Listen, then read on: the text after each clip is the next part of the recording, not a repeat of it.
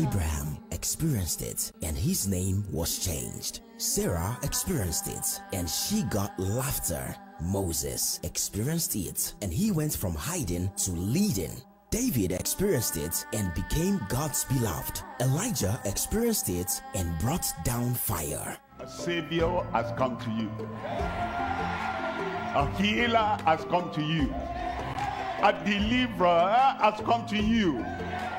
A redeemer has come to you. You will not miss your miracle. Now, it's your time.